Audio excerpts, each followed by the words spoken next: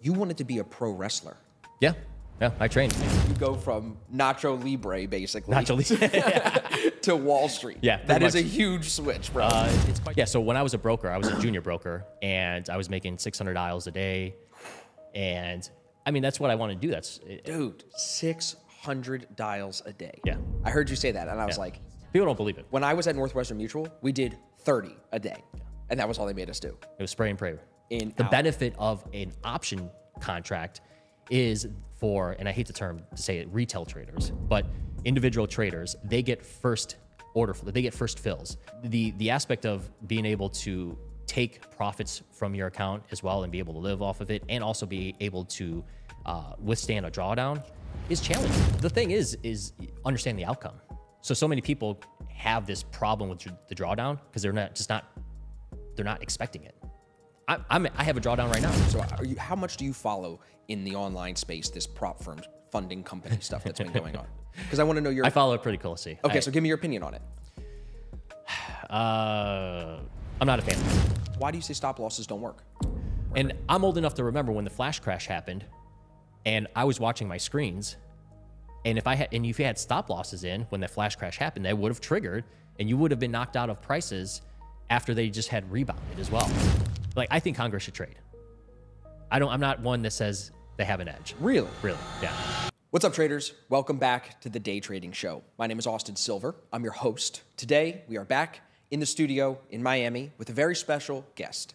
Josh Belanger is a ex Wall Street trader, and he has a ton of experience, a ton of amazing stories. We talk about trading on the pit. He was a runner back in the day. We talk about how he wanted to become a pro wrestler, how that didn't come to fruition, and we also discuss in detail his options trading, his opinions on markets, and we even touch on the prop firm funding company stuff that I know so many of you guys are interested in. So it's a good one. It's a little long, but you're going to love it. We appreciate you. We love you for watching and listening. Make sure you're subscribed so you don't miss any of our future episodes. Now enjoy my conversation with Josh Belanger.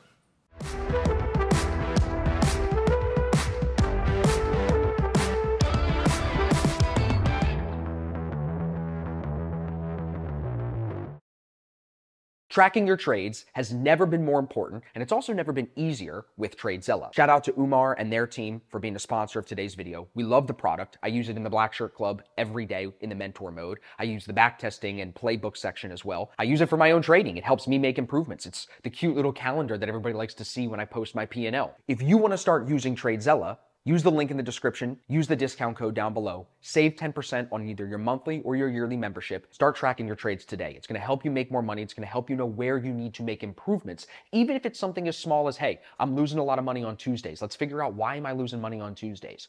Let's figure out what time of day, what instrument, what asset. All of that and more can be found in TradeZella. So if you're not a big tracking journaling guy, just let TradeZella automate and do it all for you. Plus, you save some money when you use the link and the discount code down below. So thanks again to TradeZella. Let's get back to the video.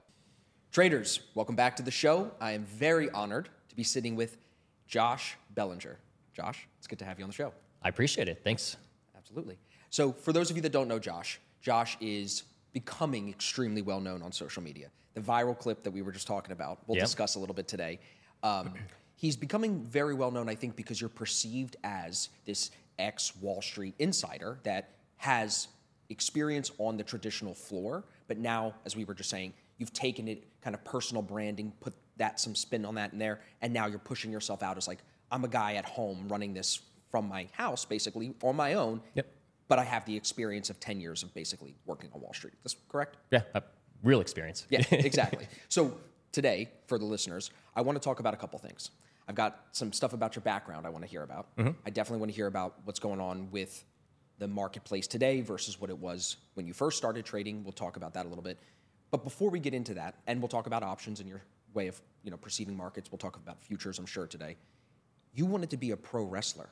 Yeah, yeah. I trained for years. I started when I was 15 years old. It's a, it's odd, uh, but yeah, my uncle was training in a professional wrestler, not uh, on a big stage, but he got me started in it. That's awesome. So I started at 15 years old. My mom signed my release for it, and I started. At, If he falls off the high rope and breaks his neck, it's okay. yeah, I'm surprised she signed off for it. But At I had 15? Yeah, at 15. Um, my mom and I weren't that close, but she was my guardian, so I needed someone to sign off for it. But Yeah, I started training. It was in uh, Chicago at uh, PCW. That's awesome. And uh, that's that was what my first dream was. That's what I wanted to do, and I did that for a couple years. Um, in the meantime, I was delivering pizza to support myself and also train at the same time. What would your wrestler name have been? So my wrestling name at that time, I wore a mask because I still look like a baby. I'm glad that you have this. See, like, and I didn't prep him on this. Everybody, he, I, I still have a baby face, but I was younger at that time and skinny. So um, my I was a lucha libre, but my wrestling name was El Blanco Return, Raton, the White Rat, even though it's not proper Spanish. But so I wore a mask, and obviously you could tell I'm not Hispanic. So the so I would say uno dos, and throw, I come out throwing tortillas at the crowd. oh my god, bro, Yeah, it was uh, that is so funny. And you go from Nacho Libre basically not to to Wall Street. Yeah, that pretty is a huge switch, bro. Uh, it's, it's quite the switch. Yeah, I mean, I like to say I came from, I, I, I came from the trailer park, and I got a, an opportunity delivering pizza.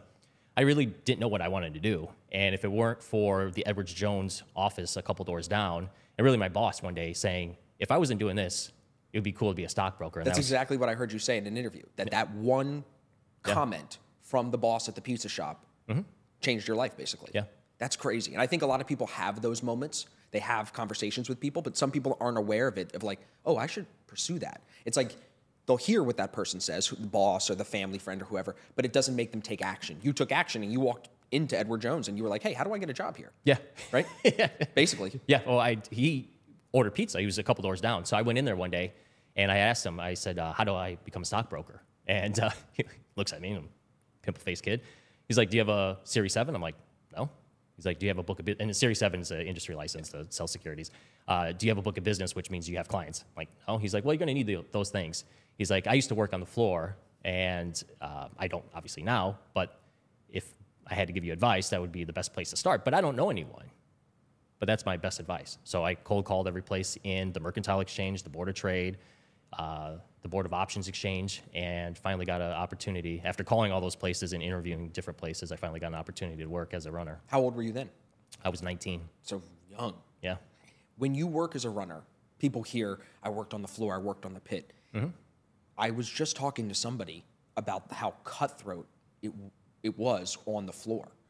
They were telling me that they heard a story about someone who I think their father worked on the floor. And the dad passed away, had a heart attack, and died on the floor, and they traded over this guy that had just dropped for a heart attack. Was it that cutthroat?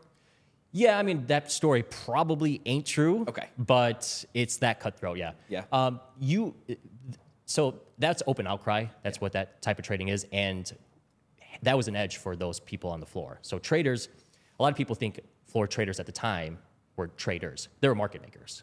They were making a market most of the time. Yeah. So they worked for a firm or they were locals that made a market, and they could. At that time, the spreads were really wide. So they're buying bids and selling offers. I mean, that, and that, that's how their edge was. And- Hand signals, screaming at each other. Right, but that's that that was their edge, and that's why so many of them, when they had to transition from screens, to digital, they couldn't do that because they had to learn a new edge. right? Because the spreads. Spreads were Yeah. reduced, and all all that opportunity was gone. Interesting. Well, yeah, it was that cutthroat because uh, you are in front of people, and it- we're, we're talking about millions, trillion, or billions of dollars at the time uh, trading throughout the day. So depending on what pit it is and where you are, I mean, yeah, I mean, the the most popular pit was, or the, the busiest pit was the euro dollar pit. I wanted to ask you about that. Why? Why do you think that that was the busier than the S and P, bigger than Nasdaq? Uh, because it's the euro and it's the European market and also the dollar. So you just have a lot of activity. conversion Yeah. And I mean, that was the big, busiest pit. I had to go in there. I get elbowed. People push me around. And I, you'd have to eventually, you know, learn how to fight through it because, again, you're in front of people. And if you block someone's view, you're blocking their opportunity to make money. I was one, one of the times I was starting, I was standing outside the pit of the S&P 500, and I was just I thought I was just like out of the way, but I was in direct with uh, a broker behind, me, you. and they were doing they were trying to uh, throw an order, and I was blocking, and this guy starts yelling at me, and I'm like, so I'm a young young punk kid. I start yelling back at him. Well, he starts. He's like, why don't you meet me after the uh, when the close at the turnstile because he wanted to fight. I didn't realize how much money I I could have lost my job because of that. Yeah, I mean, you, you could have blocked millions of dollars. I mean, a, a runner is less than a janitor, but yeah, I mean, he could have got me fired, and it would have been just like that. What does the floor look like when you say I'm in the like you were like I'm trying to picture this. Is it a big, big, big room with in the center all these people kind of running across the room, and then on the outside you have people screaming and doing hand signals? Can you paint the picture for us? Yeah. So on the, I worked at the Mercantile Exchange. That's where my where I was at. So there's two levels, and there's essentially it's kind of like a, almost the size of a football field. Wow. And then you have these just kind of uh, steps. Right. That's kind of what I picture, like on the outside, right? Yeah, on the outside. So like the euro dollar was higher, it was elevated up, and some were elevated down. It's like the S&P pit was a little bit elevated down. The euro dollar was elevated up because there's so many people on there. So you had your own spot as well To stand. to stand, and it's you know very small, Right. But that was your spot as well, and you had to you had to fight for every every little thing that you can For every there. inch, for every penny. Mm-hmm. And what made you leave the floor? When did you decide, I'm done here? Well, when I talked to Russ, uh, the Edward Jones guy, uh, at that time I wanted to be a, stockbroker. I saw a boiler room. I mean, I was going to get my Series Seven. You're and I was going to I was going to become a millionaire. Right. So that was my. I wanted to become a, a broker, and that's what I thought was was my journey. So I use that experience to leverage that and get into a firm. Got it. Uh, I learned a lot on the floor, and I learned essentially because of my experience that I liked the other part of it. But yeah, I wanted to become a broker, so that was my you're you're in. So you worked on the floor to mm-hmm. give yourself some experience, to give yourself some leverage, to really get yourself into a firm. right. And I was interesting enough. I didn't know anything about the marketplace. Yeah. But I had a perception. I could see that it was changing. Sure. And one of the things is I, you would talk to other runners, and you're like, "Well, how long have you been?" Because the progression is you go from a runner to a clerk. A clerk is like an assistant, and then es- essentially to a trader if you get the opportunity to trade capital for a firm. And that's when you get the jacket. that's when you get the different color jacket. So I had a yellow jacket, which you, different jackets meant different things, or for different firms. Yellow was obvious that you're a runner, and um, the uh, forgot the point of what I was going to say there. Well, I was just saying you use the leverage from the working on the floor to get yourself into the firm. Right. Yeah. Right. I forgot what you had mentioned about that, but yeah, it was. I had a point of that story. okay. Yeah. But we can go forward from there. So we use the leverage from the floor, get yourself into the firm. My next question was going to be why go to a firm when today everybody watching this is thinking trade from home, trade from home? Was it not common then because the internet was just booming? Oh, so the point of that Now it comes in. Yeah. Uh, so I saw on the floor when I talked to other runners was the aspect of like them, the timetables of where they were able to get to it to become a trader. Right. So I was noticing that the floor was getting less crowded because people were going to computers. Ah. Because of servers. So literally, physically, there are less people running orders. There's less clerks. There's less everything. Yeah, everything was going to servers, Right. which was taking away open outcry. Right. So I started to see that change, and I'm like, okay, I'm not going to stay down here and become a dinosaur. Of course. So you had to, to adapt. You had to pivot. So now it's moving towards data centers, which would make you think that people are trading from home, or no, you're thinking it's the firms. The firms are running the data. I need to get in with a big firm. Because my point is like, why did you not think to go off on your own then? Why did you think the traditional route of go work for a firm? Just because think about the kids nowadays, younger than me. They're they're like, I'll just trade from home. Right. And well, I didn't. I didn't want to be a trader at that point. I wanted to be a broker, and the only way to be a broker is to work at a firm.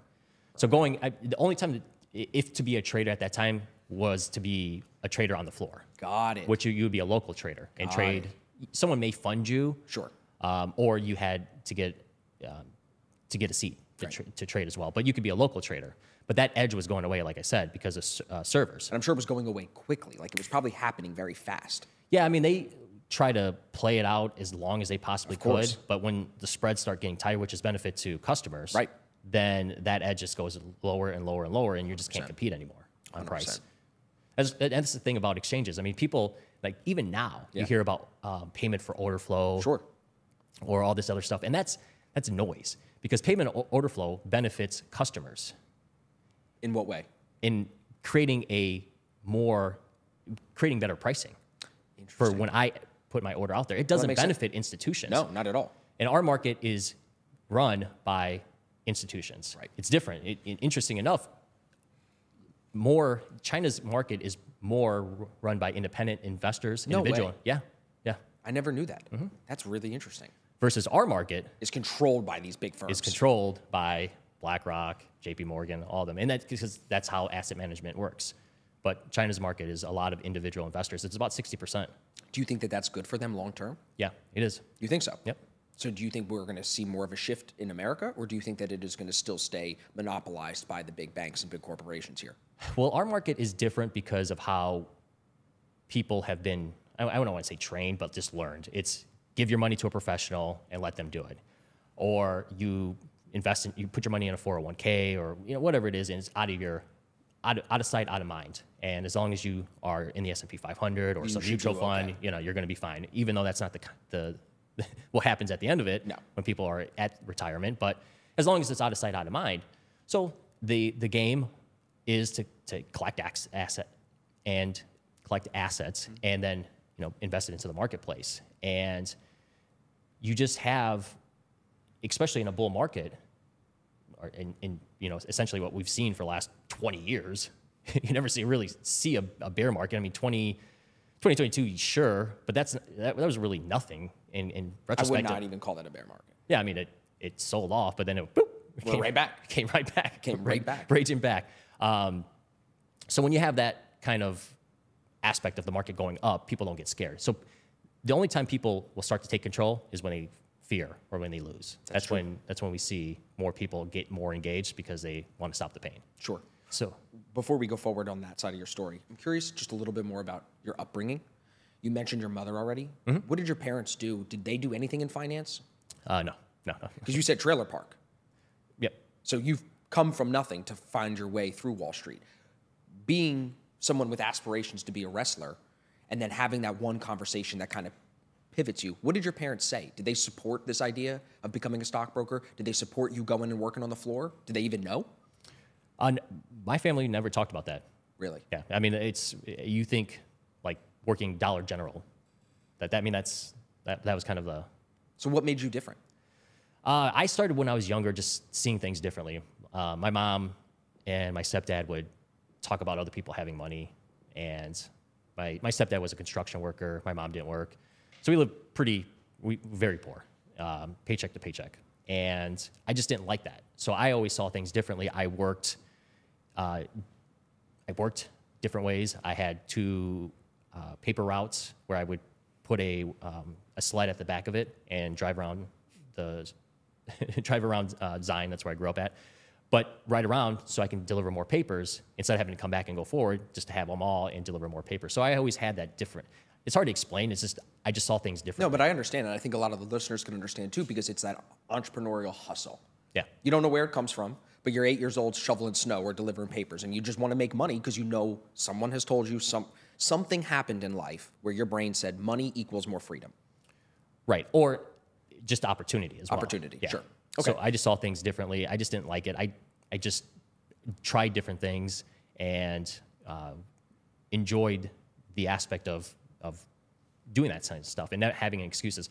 I mean, my, growing up wise, it was, it was tough. So my mom wasn't like giving me money. So if I wanted to do something like, for instance, if I wanted to go to the pool in the summer, she wasn't going to give me money, but I could take the cans and take it to the recycling place and take that money and then go to the pool. So while my mom was hard, there was there's ways to look at things and that was kind of like how I took it. It was like, okay, I'm not going to get anything, but if I want this, I got to figure out how to get that. I think that a lot of kids, I mean, it just depends on, of course, where you're coming from and where you're raised, but there's a lot of kids whose parents will just give them everything and not teach them to be resilient like that. And that resiliency that you learn at a young age programs you through the rest of your life. When life gives you an obstacle, you'll think, I'll find another way around. Versus if you're used to getting handouts for everything, you don't work as hard, I think. You ever see the Kool-Aid Man?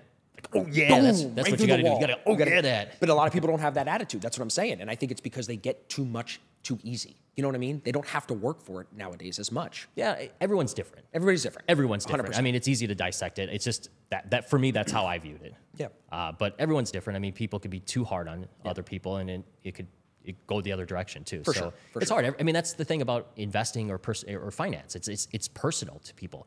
My risk tolerance is different than your risk tolerance, and your risk tolerance is different than the next person. even t- time horizon is different. We're look, you know, I'm retiring here, you're retiring there. Like those things all are very, very different. So it's very personal. Opinions about the marketplace. 100% beliefs about money. Yeah. It's all very individual. yeah. So as we fast forward then in your story, what I heard from another interview you did was you said being a stockbroker was not what you thought it was going to be. No, no. Can you tell us why? Well, I didn't make the money that I wanted. I didn't become a millionaire like Ben Affleck. I didn't. But you didn't quit right away. No, no, no. I didn't quit. It was different at that time. I mean, when you watch Boiler Room, it was a different. It, that was different as well. Like the commissions that they had, it was just a different. I was coming at the tail end of it. Sure. And when I was when I was coming on, that's and people think ETFs are just like a new thing. ETFs have been around for a while. Long time. Yeah, longer than most people think. It's just in the finance, especially in finance, things are just slow. Everything is archaic. Like people think like on the floor, like oh they had these super fast computers. No, no, no. They had old crusty computers. Yeah. It was the, because no one wants to change and update anything because of risk of it not working or Risk of ruin, really. They don't, they don't want to have an AT and T. Sure. You know, update the Oh, our bug. yeah, Yeah. update the software and if something happens. Right. Um, but um, If it ain't broke, don't fix it. So they keep using the older computer, so they're more resistant to the change. Yeah, so when I was a broker, I was a junior broker, and I was making 600 dials a day, and I mean that's what I want to do. That's Dude, 600 dials a day. Yeah. I heard you say that, and I was Yeah. like, people don't believe it. when I was at Northwestern Mutual, we did 30 a day. And that was all they made us do. It was spray and pray, 600. but it wasn't like they gave me leads that were like good. It was literally calling from a phone book. Right. No answer. Yeah. Right. So that's all I was doing.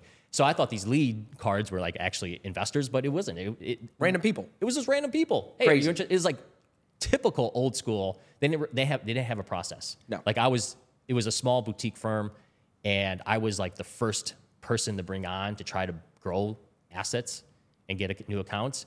And they didn't have any process. They had, they had the 1980 approach of just calling and get people interested and then try to pitch them stocks. No CRM. No CRM. no, no. I had a I had a card file Right. on my desk, like Right. a black a black one with uh, A B C D and the So what are you now, 21, 22? I passed my Series 7 the second time when Yeah. I was 21, two months after I Young. turned 21. I think that's relatively young. Yeah. So from the stockbroker, got the Series 7, smiling and dialing, wheeling and dealing. What pushed you out of that role and really started to motivate you to be wanting to work on your own? Yeah, so I was opening accounts Okay. and I was making nothing. So I remember one deal we did we did a lot of different the benefit of working at the firm I did was that it was small. It wasn't like a Goldman Sachs or anything like that. That's very prestige.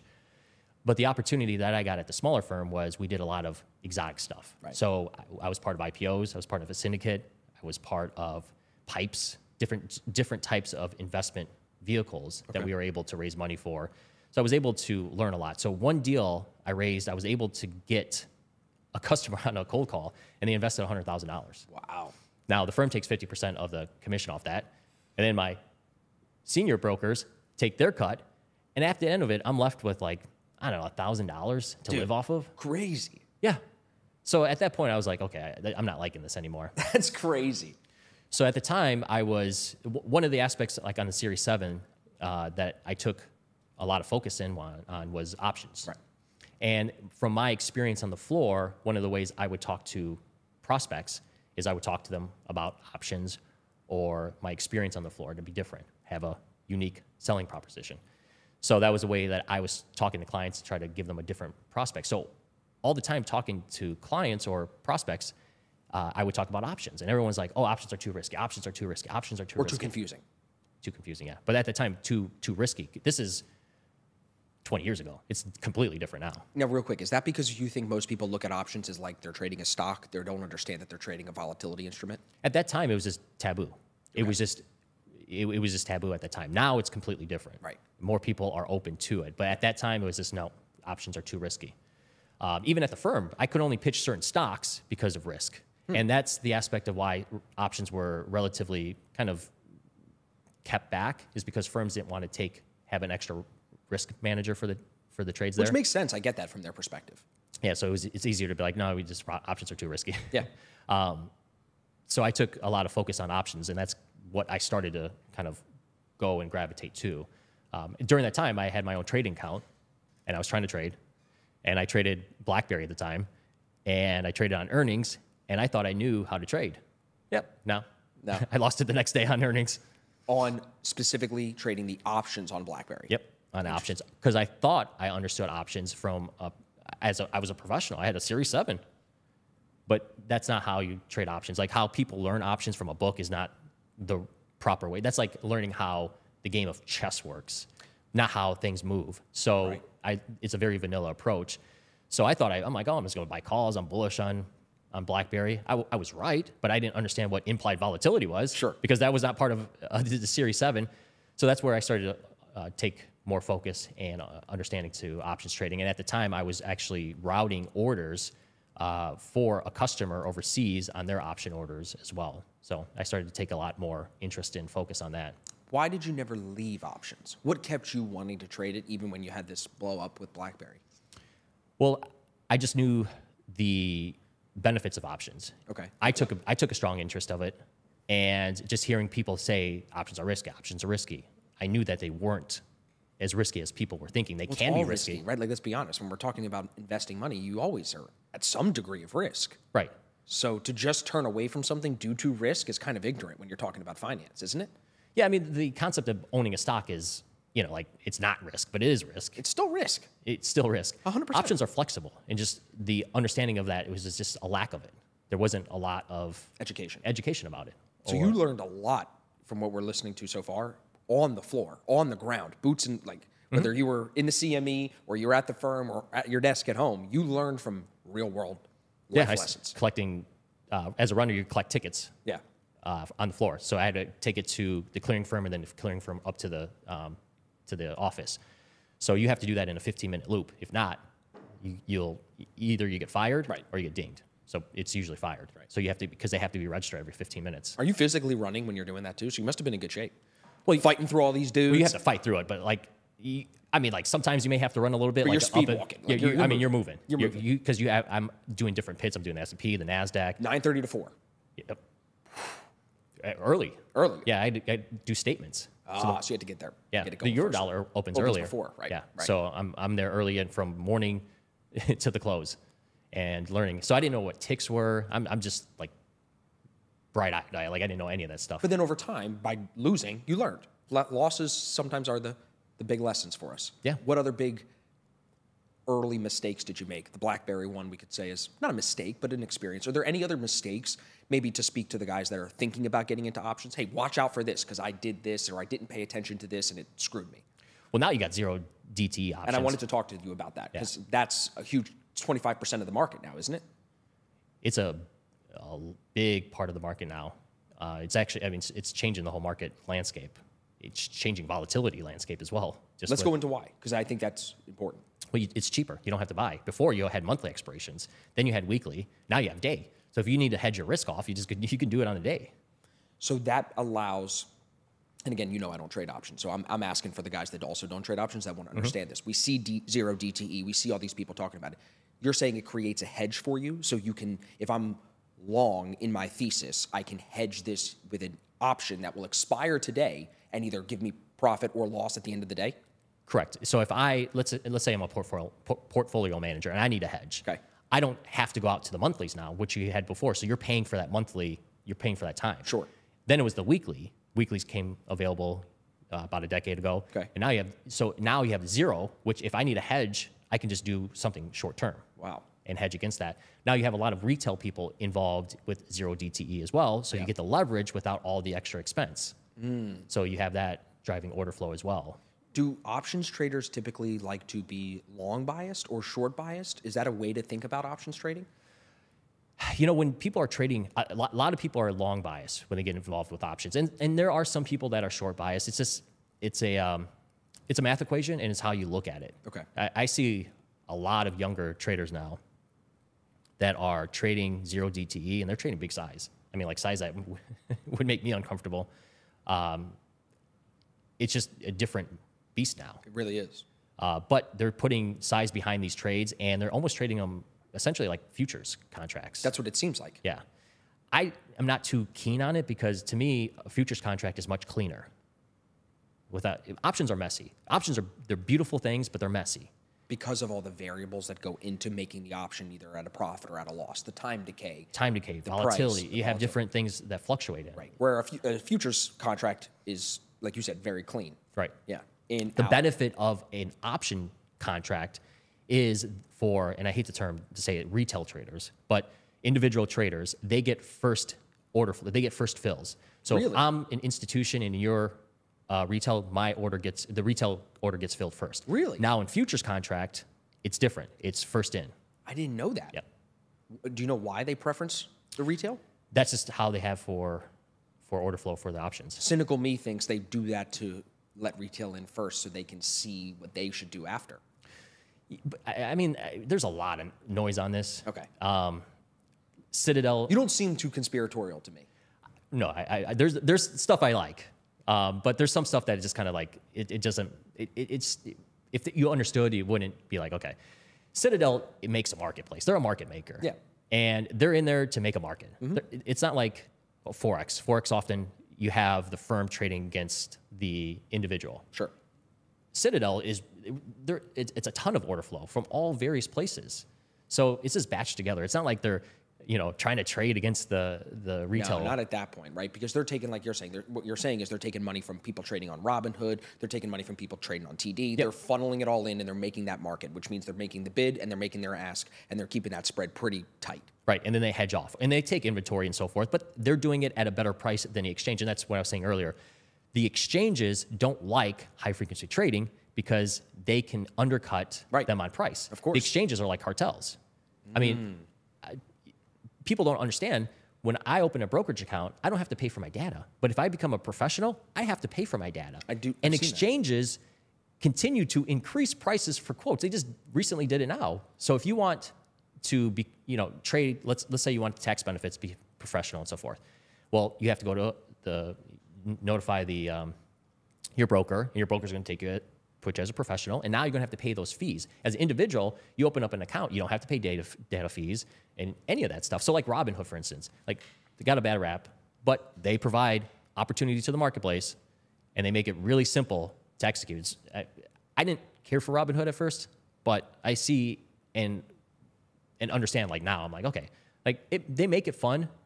It should be fun if you make money, but when you get into options, it could become very complicated. Like if I open up my platform, I show it to you. First thing you're gonna be like, holy shit! Like, Right. You're gonna be like, what? The? Anyone I showed it to, I sat with a billionaire, showed him options, and first, first thing he's like, "Mm, everyone. It just doesn't matter who. It's just like you open up a platform, and it's like it's, you're scared. Like I'm gonna break something, or I'm gonna lose my Like it's a foreign language. I'm going to lose my tail if I mess up. Right. So there's a lot of pressure. And with Robinhood, at least they make it easy Yeah. To easier to screw easy. up. Yeah, easier to screw up. Because didn't they get in trouble for gamifying trading? Is that what people were trying to say? yeah, that's what the SEC. I mean, uh, because it's got cute little green dings Yeah. and red dings. So yeah. they- let's let's let's make it too fun. You know, that, that's what the the SEC is. No, no, we're- we're not. We don't want it that fun. Not that fun. Yeah, we don't want it to be a casino. but we don't want to stop money inflow either. yeah, I mean, They definitely don't want that. But they want the prestigious aspect of it. Of course. You get the, the Wall Street firms that want this to be like the big boys. You know, Yeah. this is where serious, Yeah. serious people are. So how has technology, other than through zero DTE, how has technology changed options trading over the last 10 years? How's it changed? Yeah. Just a tremendous amount of order flow. Now, I mean, we're seeing, I think on Friday, 42 million contracts traded. I mean, we're seeing order flow of contracts just on a level that continues to increase, increase, increase because of the flexibility. You have more institutions using them, you have more structured products using them. Uh, structured products meaning like an ETF that sells calls and Yeah. sells puts or collars it, or structured products on different types of um, hedge funds you use. Sure. Well, they'll get a, a certain uh, certain payout, like I don't know, Nvidia. Like if you buy this note, Nvidia will pay you X percent. So these are you know kind of big boy products, Mm-hmm. but you just see so many, so much order flow going into options just because of the flexibility. Now. Is that coming from international, not just domestic? U.S. is where the world comes to put their money. That's the the benefit. It's of, been that way since World War II. Yep, yep. Because of the laws, just because of the capital, uh, the the amount of liquidity. So that's that's where the world comes. Um, yes, there's other markets out there, but if you are hedging, or and I hate to say hedging, but a lot of money comes into the U.S. market from global. If you were in China and you could buy Chinese options or American options, you're going to think about buying American options, is what you're saying. Right, right. I mean, like it, for product wise or just different vehicles, a lot of these other countries are just not as sophisticated. And as you would know on, on the forex side, a lot of or a lot of countries don't want you to trade outside their country. They make it really hard to take your take their capital and deploy it anywhere else, uh, unless you're a professional. That's what they want, right? They want the Yeah. professional. But that's why when someone gets on CNBC, like some hedge fund guy or somebody, oh, I'm, I'm getting long the Deutsch. Right. Okay. the individual can't do that. They're not going to be able to. It helps nobody. Yeah, helps yeah. Right. And it almost when they talk about things, um, well, let me ask you this: like when you hear that on CNBC, when you see Cramer make a call, when you see as a guy who has been on Wall Street and knows how they talk and how they talk their book in a certain direction, you do need to read into what they're saying, right? You can't just take what they say on the TV and on the news at face value and think that's going to come to fruition. No, I mean it's engagement. They're also talking their book as well, and, and it's their also their opinion as well. I mean, they're not just talking to TV, but they're also talking to their investors, Sure. and and talking their book as well. So it's not always.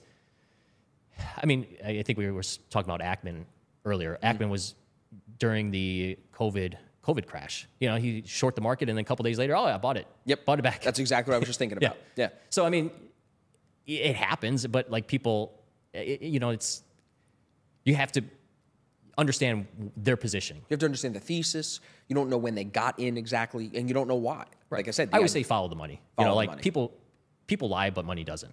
So people get on TV and they're going to lie.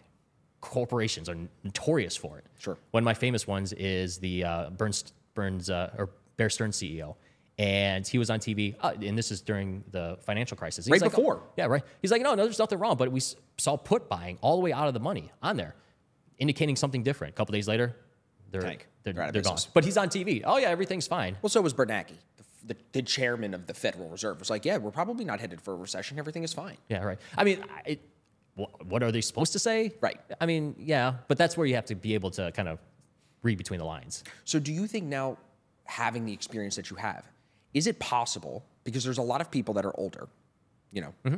or even older than like like our parents. They're in the mindset, I think, of like as an individual, you cannot trade and make money and create a living for yourself.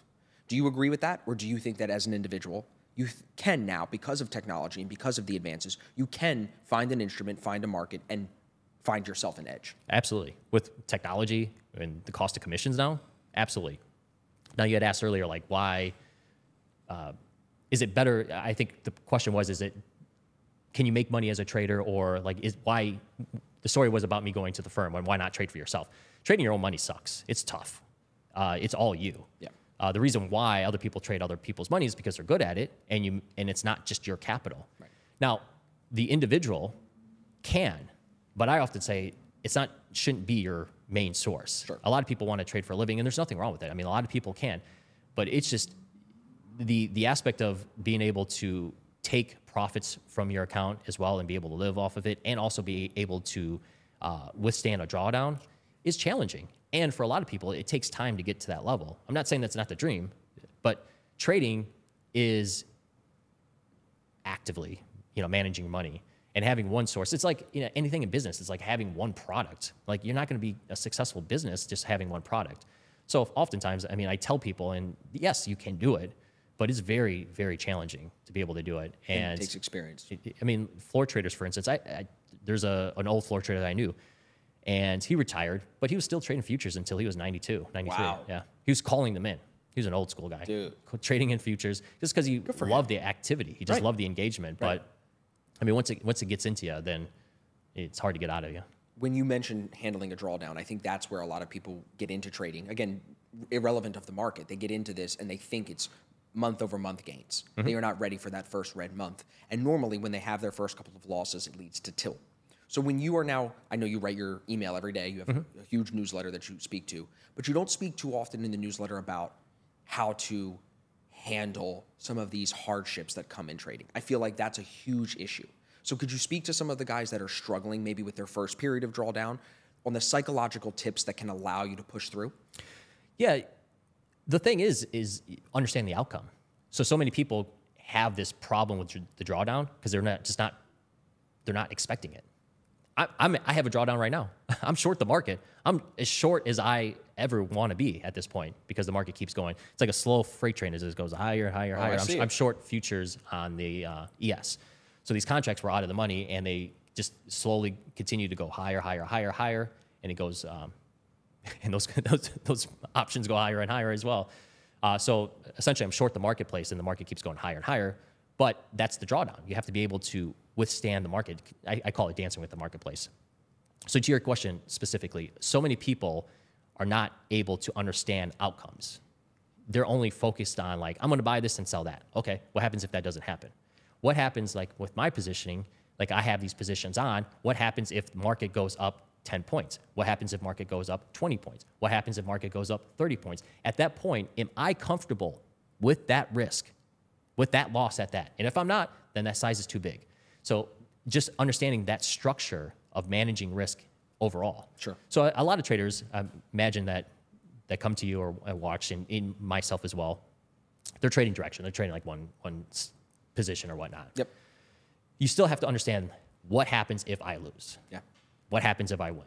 And that's the best way to start with it. So if I lose and if I lose money, am I comfortable with that? Okay, then that is how you can handle it. Now You can justify the trade then. you can justify it. Now, how do you get through it? Losing sucks. I mean, it just sucks. You know, like being short the market right now just sucks. um, but that's just part of it's part of the business. It's like being upset that you're mad or that you get something wrong. Right. You know, like oh man, I made a I made a dumb choice because that's what trading is at the end of the day. It's Right, if just, you- if you it's just- lose, it's it's just making decisions. It's Yeah. making bets like in any like your everyday life. Yeah. Like oh, I did that. That was a bonehead move. Okay, I didn't. I learned to move on. So there's not like a secret sauce to it. No. Uh, but the one thing would be is this the the amount of loss, and that's something that a lot of people are not understanding. What could happen is that if I lose, am I comfortable with that loss? And if I'm not, then that size is too big, and I need to reduce it down. I like that answer. Could you look at it also from a perspective of the thesis of the trade? You're short right now. Mm-hmm. I know I'm going to let this run for 50 ticks against me, and if I'm going to think that markets will move. If the market wants to move higher than 50 ticks, my thesis is invalidated. So would you look at it from a framework of like, because I'm a technical trader. I know, let's say we want to hold 5,200. I'm going to be short under 5,200. If we're above 5,200, probably shouldn't be short anymore. So is that basically what you're saying? The, is that the definition of having that structure and framework around the idea to withstand the loss? Because then you can back yourself in based on the position size. If I know my stops should be here, that's where my idea is invalid. I can position size myself so that I can stomach the loss at that point. So I run multiple strategies. Oh, I know you do. So my one strategy is I so I look at my options positions as a whole. Okay. So typically, I, as a whole, am delta wise, I am short. So a lot of times I have, I'm selling on the ES, like specifically on the ES, I'm selling calls and puts. I haven't been selling puts recently because the market just keeps going up and it's going to go lower, but it just hasn't. So, and that's that that's the odd thing too, or the tough thing is that like sometimes you need to be doing things even though that you have your opinion that you have to you should be doing and you don't do it like selling the puts because it would benefit and help with that positioning so i'm selling stuff that's out because the aspect is, is that markets go typically they go up down and sideways Yep. so i'm just selling essentially junk outside Sure. and over time because of time decay i'll be able to buy those back well when you get a kind of a runaway market like it has been the last three months that becomes pretty problematic on the call side and um, so your question was like on management side of it. So one of the things I will do, like on this one specifically, on these, I roll them out for a little bit more time, eventually to catch when markets do roll over, because markets just don't melt up, No. but they have been, even though they don't melt up, but they do melt up because it's it's exactly what's been happening. So that's how I, I manage it overall on that uh, that on that approach. Why do you say that? That markets are melting up right now, but they typically don't do that. Like you're saying, it has to pull back. Well, what we're seeing, like for instance, like on Nvidia here, is um, we- we're, it's a one stock market right now. I mean, before it was the Mag Seven, then became the Fab Four, and now it's it's just the one, the AI one. Educate me because I'm still thinking it's Mag Seven.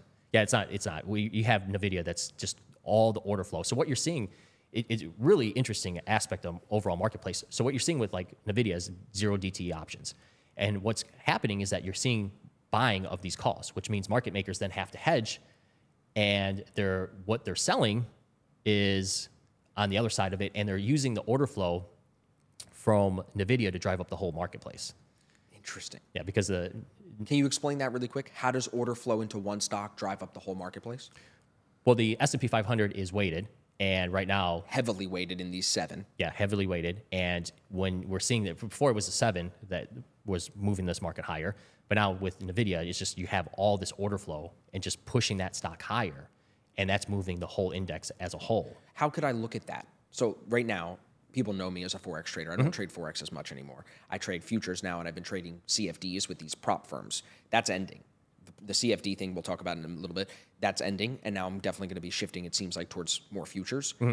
How can a futures trader see what you're talking about? That the money is shifted from the seven into Nvidia. What what tool can I use? What I? Well, if you're trading futures, you're going to be looking at the ES. Yes. So the ES is going to be driven by that. Yes. So market makers are going to be. But how do I know when it changes? Is what I'm saying. So right now it's Nvidia. What happens when it goes back to the Mag Seven and Apple starts getting more order flow? What would I look at? What tool? What options tool can I look at to see them? Or if it's even not just an, options tool, you could see it on the option statistics. You could see the order flow for the day based on like how much order Okay. flow of overall is going into Just volume. just Volume of order. Yeah, just volume just going into. so if I see Nvidia is top on that list of volume from options orders, I can then assume that day or that period of time Nvidia is driving the direction of the overall market because of how the S&P is weighted in these seven stocks or so right. right now. that- so right now specifically, every it's the AI craze. Yeah. So you just have zero. You have traders, just individual traders, just jumping into Nvidia and just driving that all the way, and you have uh, just the natural order flow as well because market makers then have to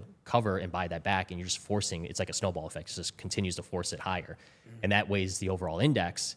And you have um, firms as well using that order flow from the S and P 500 Got it. Interesting. So it, it really does all, in a way, work together. The options flow can drive the direction of a market in a way, is what you're saying. Yeah, it was the belief that stocks drive options, but it's really options, honestly, that drive. It's like chicken or egg kind of approach. Yeah. I mean, options are a distribution of outcomes, and there's a flexibility of it. Sure. So a stock is this, you know, binary.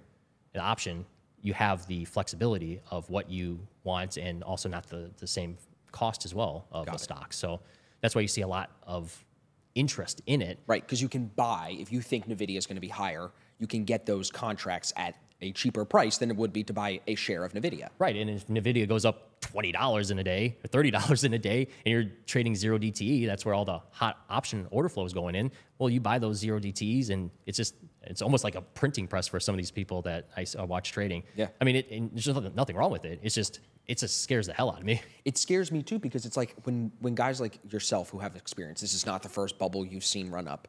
Not that AI itself is a bubble, because I, I think we all agree AI is important. But like, Oh no, it's a bubble. You think it's a bubble? it's it's it's it's at a fever pitch right now. It's so crazy. I mean, like Nvidia, it's it's just it's nuts. it is. it's- SMCI. I I use ChatGPT. Yeah. It's not the best. No. I don't know how it's going to change the world. Right. I mean, I can see concepts of it, It's definitely not the best. but it ain't Gemini. Like I, I understand the flow to it. I mean, it reminds me of the dot com aspect of it a little bit. 100%. I mean, I've just of 20 years in the marketplace, I've just never seen anything like this in Really? the market. Yeah, I, I, and I've asked other trader, floor traders that I've Same known, thing? and they're the same thing as well. Really? Yeah, just it's it is a different animal just because of the structure of the marketplace. Do you not believe, like, not to get too lost in the NVIDIA sauce, do you not then think that the NVIDIA chips are going to be everywhere? Well, right now they're leader, but other Microsoft, Meta, They're gonna everyone's—they're going to catch up. they're trying to catch up to them. So it's only a matter of time that they have this moat. They've got the hold on the industry. Right. Yeah. I mean, I remember when Zoom went from $100 to $500. Zoom is going to take it over. And then there it's $65 now. Yep. I mean, I wanted to post this chart the other day because I'm like, I, You I made a post about Zoom earlier. yeah, I mean, I like Zoom overall as a play to Yeah. get taken over, but Yeah. it's it's been a dog. Yeah, it has. no- it, it has not been. I, I like Robinhood as well. Yeah. To be taken over because there's just no there's no um, innovation in fi- fintech. Let me ask another kind of side question. You talked about how you had worked with IPOs before. Mm-hmm. How come so many IPOs in the last year come out at a higher price and then fall and never go back to that price, like Airbnb or Coinbase? You want to get funded? I can help you do that. Through our Black Shirt Club mentorship program, we've helped over 150 different traders in the last year pass their funding challenges, get paid out, get their initial refund, and most importantly, keep their funded account. The habits and the strategies that we're going to walk you through are what will last you a lifetime. So if you're looking to make a big change in your trading, you're tired of spinning your wheels and losing money, click the link below, book a call with me, and let's see if the Blackshirt Club is a good fit for you. We include a year of TradeZella, we include private weekly coaching sessions, we include the starter pack. There's a ton of stuff you get when you join the Blackshirt Club. It's really like our one-stop shop. If you're looking to take trading seriously and you want to be in a small group setting surrounded by other professional traders, people who have been in the markets much longer than you probably, click the link below. Let's see if the Blackshirt Club is a good fit for you. Now let's get back to the video. Other dogs. Yeah. Yeah. I mean, it's just Define that. What does that mean for the people that don't know what that means? uh, so Because all of us on the retail side feel like that's big money offloading at its IPO price. They oh, get it out. is. It is. Oh, that's that's what an IPO is. It's a liquid. That's that's what it is. It's a right? liquidation it's event. so that these people that got in early can Right. cash out, Right. and sell to the idiots on Robinhood. Well, it's not necessarily before. Like, okay, Google came out. That was a. There's been successful IPOs. What happens is, is the stack that a lot of these companies have going into public offerings Okay. is a lot different now. Okay. So the value is just there's just for at the time it gets to an IPO, there's just not enough meat on the bone anymore for a lot a lot of the players. So at IPOs at sixty, it's really worth twenty. I mean, the market uh, uh, price always matters. Sure. But I mean, when you look at Airbnb, I mean, okay, Uber. Yeah. You know, it took a while for Uber. Yeah. To get to get going, but it- that one that's an IPO that flopped, but has came back. It's come back. It's Uh. Lyft as well. Yep. So a lot of those, and I think the cycle of when that happened as well, it was kind of a fever pitch. You had a lot For of sure. what blank check companies, Yep. which is uh, SPACs. Yep. Which that was another thing that I was part of SPACs before. Were you? Yeah. That was my big stock trade in 2020 was Virgin Galactic, Oh, which was a SPAC. Yeah, that was a- 15 to 55. Yeah. Back down to 15, back up to 50, and then now four dollars, eight dollars, something like that. yeah. Those those things were uh, just a frenzy. Frenzy. Yeah, of, of, it- they don't make any sense if you understood the structure of it. You're like, why would I ever want to? To invest in something like that. to but they're trading instruments. and there's nothing wrong Sure. with that. You know, like you were saying earlier about like people's books or you know what they say. I mean, there's you, we had Tim on. You know, Yeah. Tim Tim's very successful at trading penny stocks. Right. I don't like trading penny stocks. There's a lot of gotchas with it, like halts and for sure. secret offerings that come out. Press after- releases. yeah, you know, and stuff like that. But they're volatility products, and that's my that's my point. When you understand things of like volatility, like that's what options are, volatility products. Sure. Forex is volatility. That's why you have the leverage on Forex because currencies don't really move that much. So when people hear are like, "Oh my God, Forex is this so risky because of the leverage?" Yes and no. It's has to have leverage Because it ain't moving. because it ain't moving. So you have to have the leverage to be able to make money. And if you don't have the leverage, then you ain't going to make any money. So give me your thoughts on the Forex market. It's very global. Yep.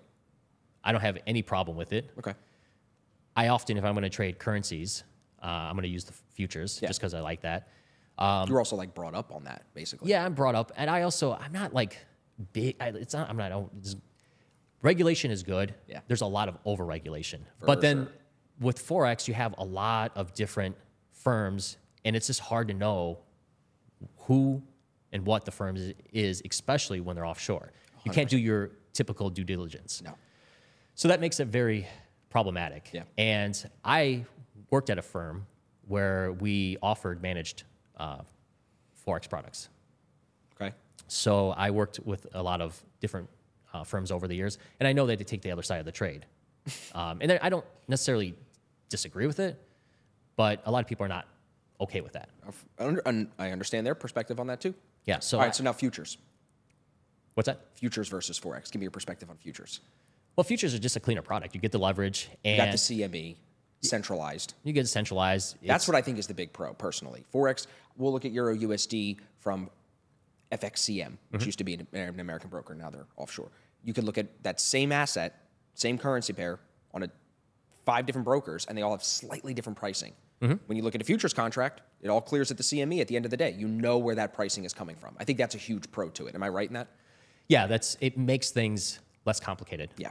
and more uh, more understanding, and you get the liquidity part of it as well. Yeah.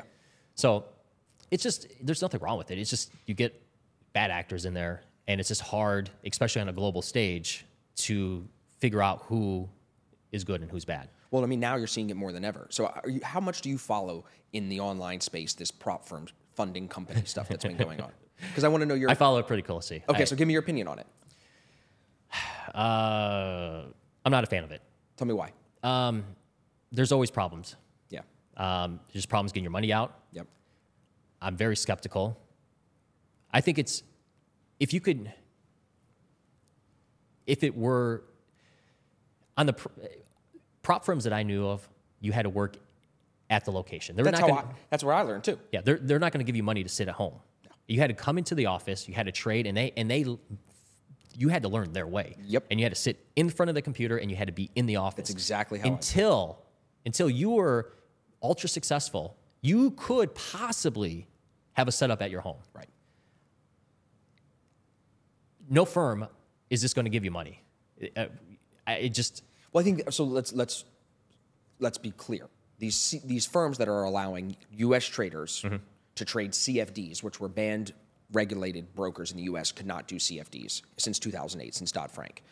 These brokers that are set up offshore, calling themselves prop firms, are not really prop firms. There's like it's like this simulated casino. It feels like where they're giving you an account.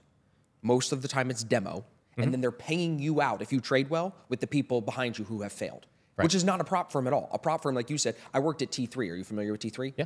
I worked there with Scott Redler for a year and a half. They were a traditional prop firm. They were closing down the space in New York and sending everyone virtual because it was just the way it was going. I was there four years ago. right.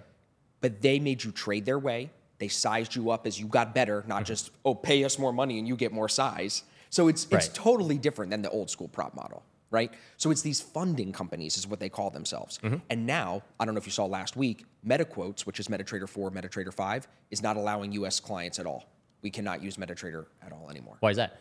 They're saying that MetaQuote, I don't know exactly, so everyone listen, I'm not insider, I don't know nothing. But I, from what I see, is that they got complaints from the CFTC to stop accepting US cu- customers for a multitude of reasons. I'm not mm-hmm. going to speculate, but it's coming from a regulatory agency saying you cannot accept US clients anymore due to the fact that they allow CFD trading when CFD trading is supposed to be illegal here. Okay. Yeah.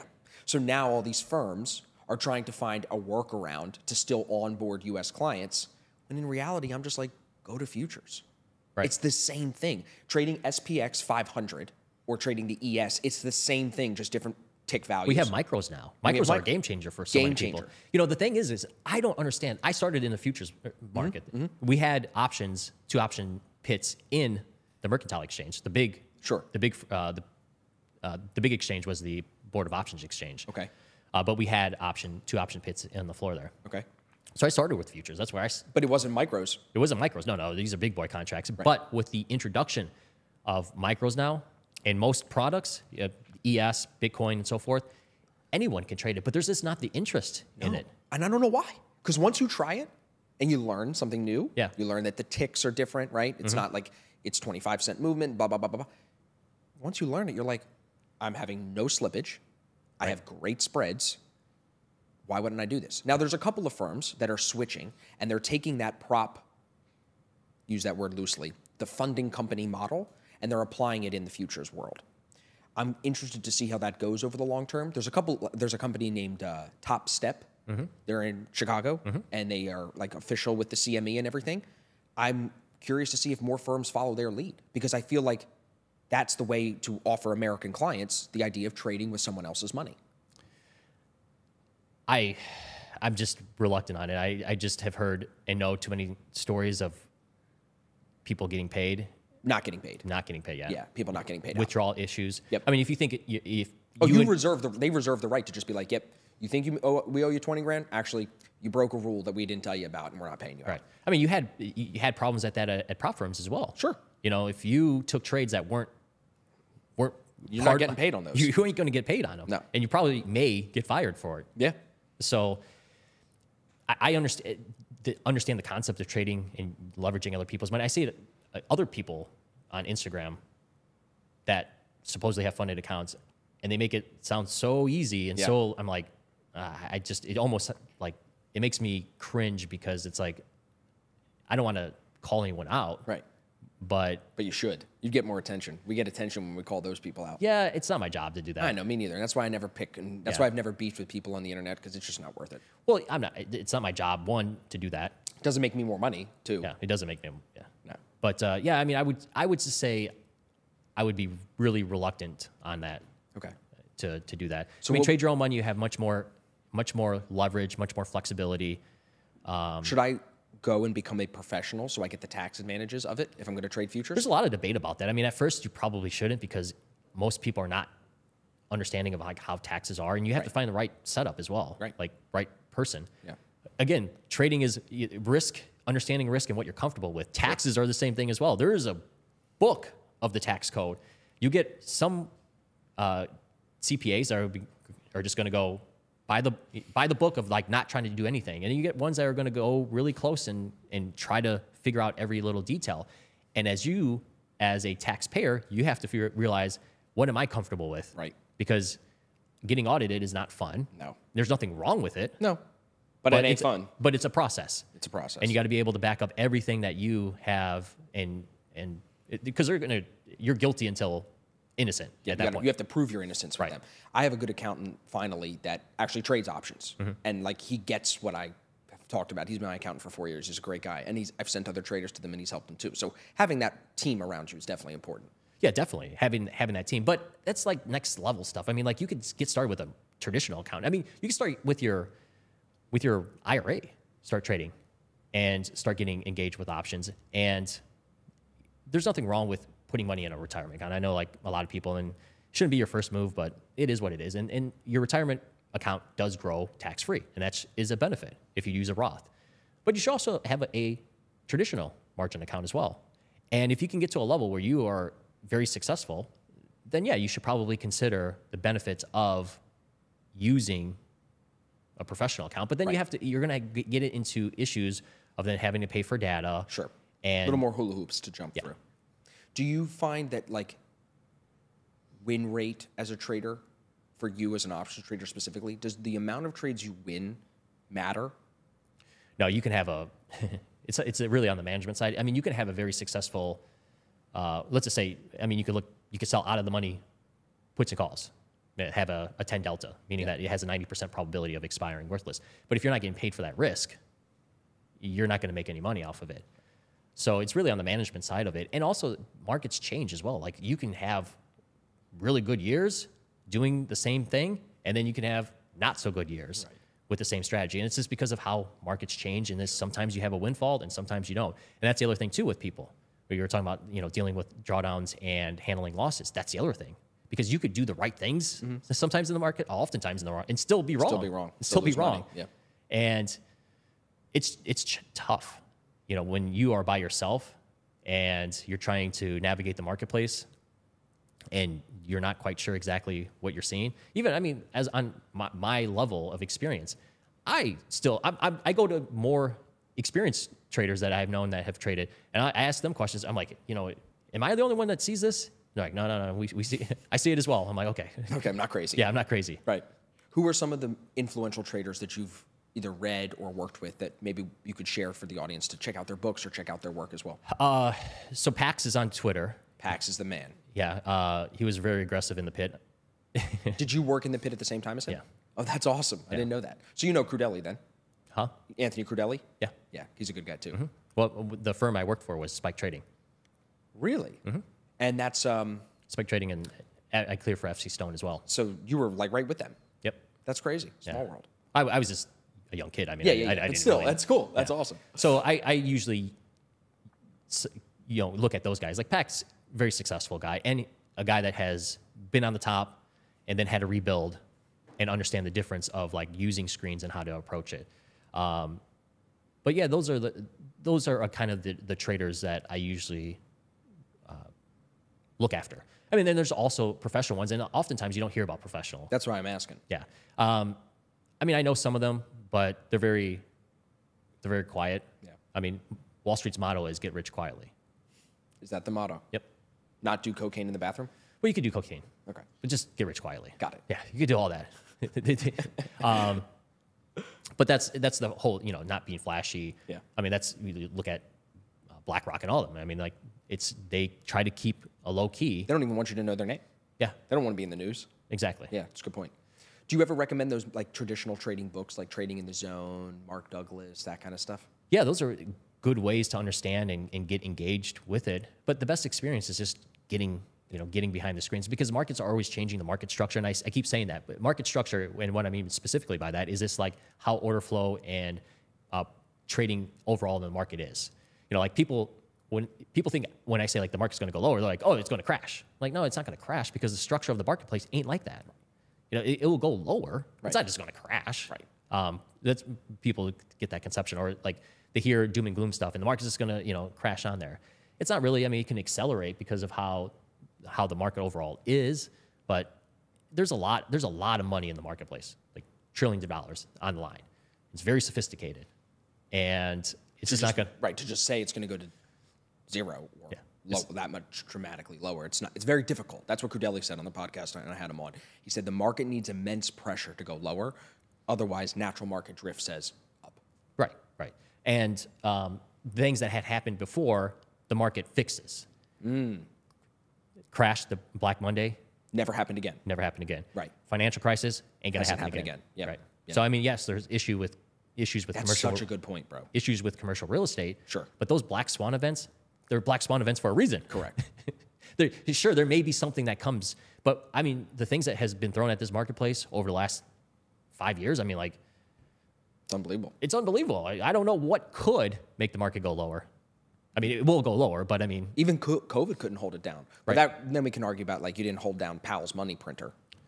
well, yeah, you got you know free money, and you still have money sloshing around For sure. for sure, For sure. You st- that's what the whole aspect of where you just see this rotation of money.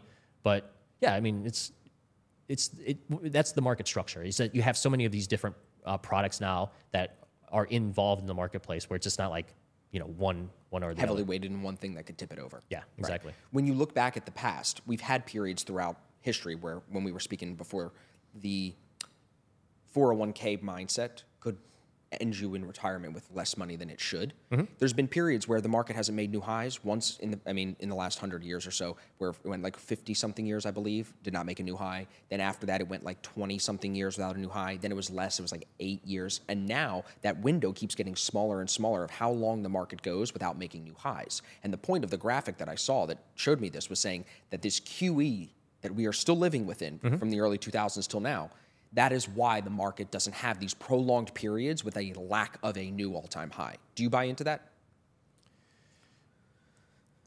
The lack of a new time all time high because So of, no, like you see how like we we haven't entered a period where it's, there's sustained sideways movement mm-hmm. across the broad market.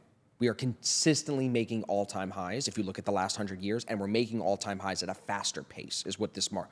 And it, it was just backing the idea that it's happening because of the Fed. It's happening because of the easy money and the QE. Do you agree with that? well, I mean, partially indexes are manipulated because they take the bad ones out and add new ones in. Just like they did on the Dow last week with Amazon. Right. So I mean.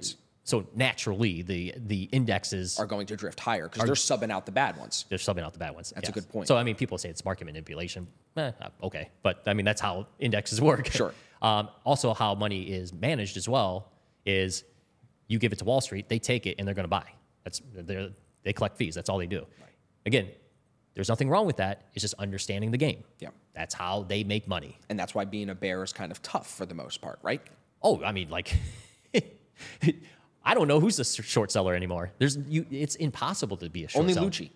But only Lucci. well, I mean, Tim started out as Tim Sykes started as Yeah. short selling. Yeah. Uh, has flipped his strategy. Yeah. Uh, because of how the markets work. Yep. Um, but any, I don't. Chanos is the last notable one, and I think he just folded his Did he? folded his uh, fund short selling wise and return the, the rest So of the. you're saying there's very few even funds that are short biased now Oh yeah, I mean, because like, everyone just realized it's so hard. I don't know how you how do you fight it. I mean, people who fought Tesla for so long got killed. Killed. I mean, people who are again Nvidia, Nvidia. are killed. Killed. I think there's three billion in uh, unrealized Floating short. floating short. Yeah, Dude, that's all those memes of everybody with like the train steamrolling the NVIDIA shorts. yeah, Yeah. it's exactly it. I mean, it's just uh, uh, it, it's unbelievable, but it's hard to get short a marketplace that is getting flooded with Money. money. And even uh, with rates are where they are now, I mean, it's better than it was before, but it's still relatively low overall when you look at the wide. Oh, interest rates for mortgages used to be 20%. Yeah. In the 80s, I think, 17%. So it's overall. I mean, people are giddy about getting four and a half percent on their money. Like, oh my God, it's the best thing ever. Uh, I mean, inflation is Don't that even talk to me about this. I could talk about this for an hour. People are hyped up about 5% in a Marcus You know how account many- at Goldman Sachs when inflation is probably still above 5%. yeah. Well, yeah. Not even if inflation isn't. The cost of your goods is not going to come back down, and your 5% a year is not going to make it so you Well, can groceries are 10% higher now. Right. Gas fluctuates, but gas is more expensive. Your utilities are more expensive. Eating, I mean, dude, you can't even Wal- eat. Walmart came out and said, uh, we are seeing less, people are spending less money and buying more groceries. spending less and buying more groceries, It's crazy. paying more for groceries. But Yeah, yeah, yeah, that's what I mean. Yeah, crazy. So this leads us to our one of our final points. Yeah. The call roll strategy that was the viral video. everybody get your call roll on. Everybody get your roll on. I like it. when you positioned that video, I know we talked about how you are a master of like really trying to understand content. I know you know Ryan and the whole thing you were in St. P for where I live, right? So I understand you're looking at it from a perspective of like, let's pitch this hook, let's get them sucked. But the whole video, I found it, like I told you, it actually explains it perfectly. It's very easy to understand what you're talking about. Right. So the first question, and for everybody that doesn't know, there's this viral video. It's on Josh's Instagram. You can go watch it. Over a million views now, right?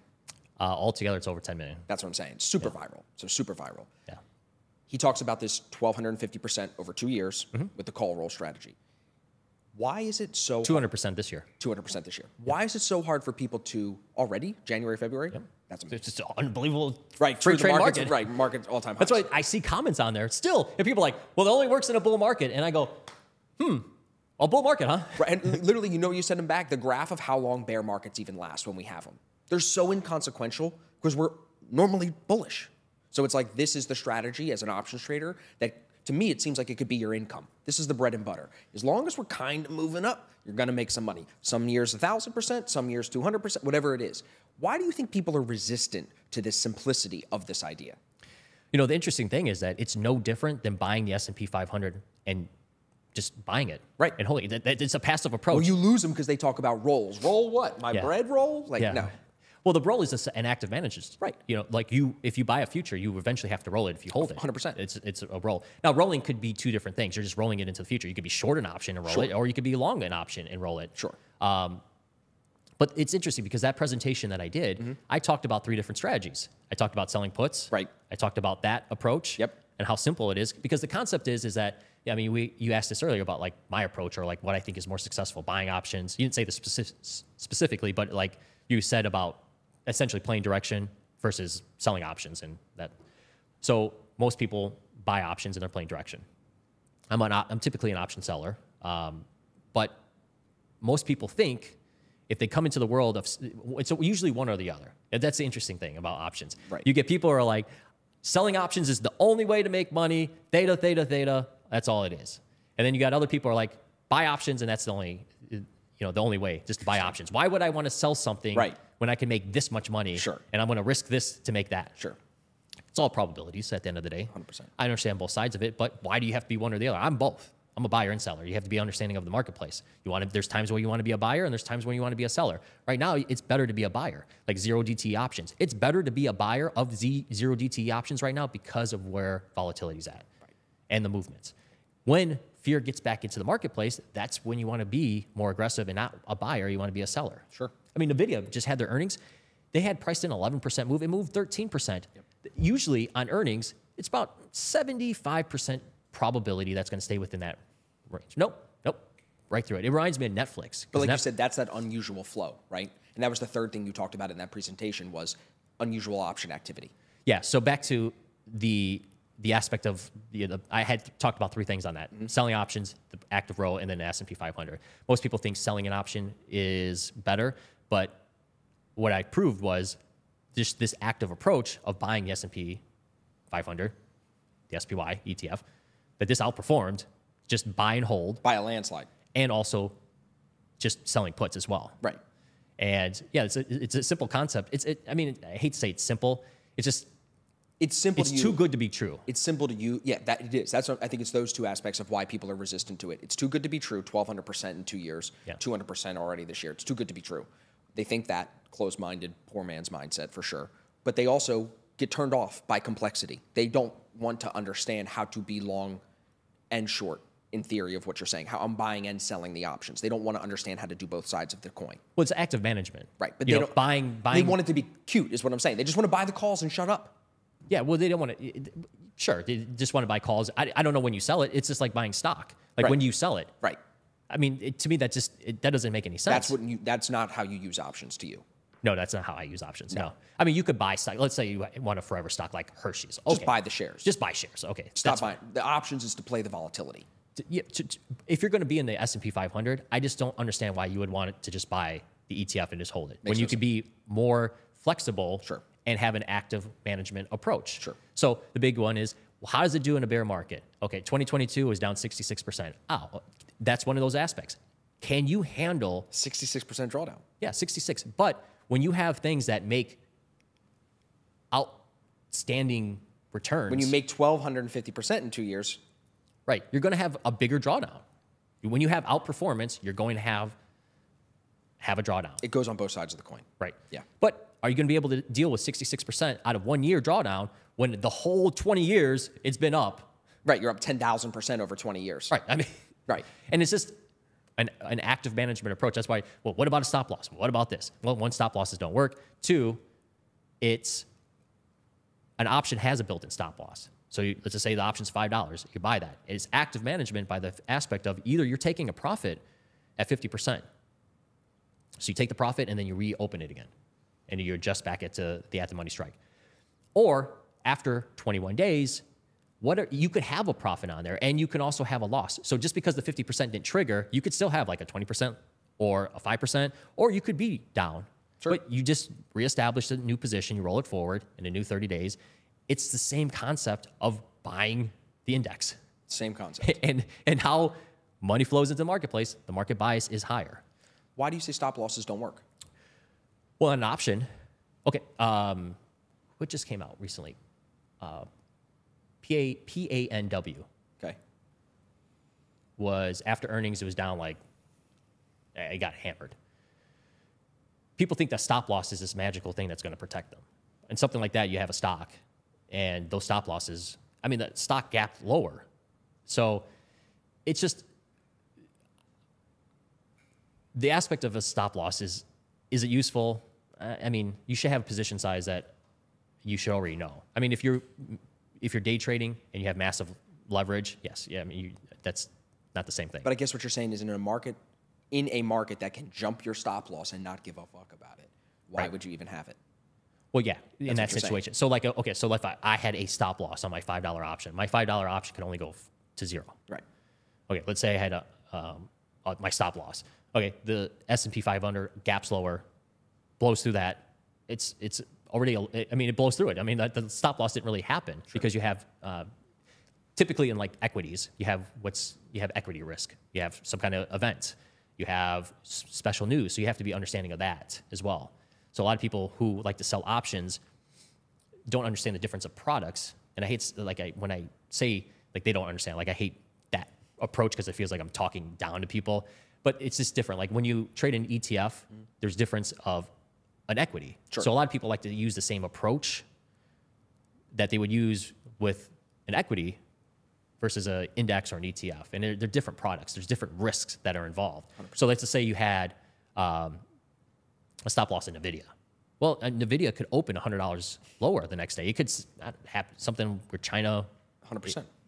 whatever the news is, all of a sudden it opens lower. What's that stop stop loss that you had, it, it's not going to, yeah, it'll trigger, but it's going to, Down there. Yeah. Yeah. You'll get op- if, if it stops at 50, you're going to get picked up at 35. And I'm old enough to remember when the flash crash happened, and I was watching my screens, and if I had and if you had stop losses in when the flash crash happened, that would have triggered, and you would have been knocked out of prices after they just had rebounded as well.